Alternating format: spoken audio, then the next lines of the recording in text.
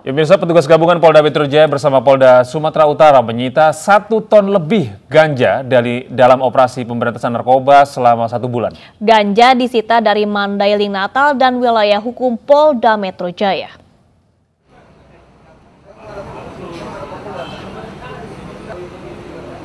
Dalam rilis yang digelar Rabu siang, ganja 1,443 ton disita polisi berikut 19 tersangka. Penyitaan barang bukti ganja ini didapat dari hasil pengembangan Polda Metro Jaya bersama Polda Sumatera Utara atas peredaran narkoba di DKI Jakarta. Bersama Polda Sumatera Utara, polisi menyusuri lokasi di kota Nopan, Kabupaten Mandailing, Natal dan menemukan 5 hektar ladang ganja. Di Mandailing Natal inilah uh, disampaikan ada ladang ganja.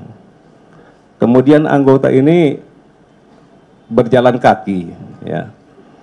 Sekitar enam jam untuk sampai di lokasi. Dan di sana ditemukan 5 hektar. 5 hektar ladang ganja ya.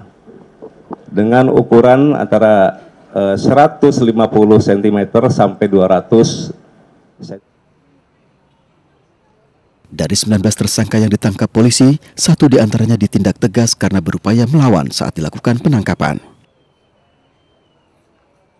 Polisi kini masih mengembangkan peredaran narkoba lintas wilayah dan berkoordinasi dengan jajaran kepolisian daerah di seluruh wilayah. Dari Jakarta, Helmi Sajangbati, iNews melaporkan.